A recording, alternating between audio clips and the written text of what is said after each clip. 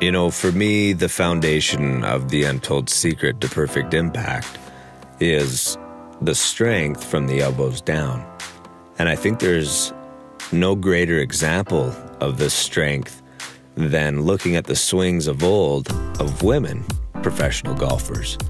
Uh, we look at the swings of the modern day LPGA women's professional golfer, and no doubt they are strong, but not in the way the women were of old.